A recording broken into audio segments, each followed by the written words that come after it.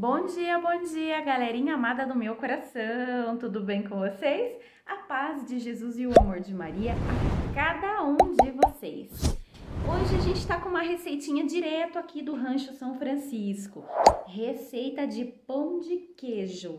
Maravilhoso para tomar com cafezinho de manhã, à tarde.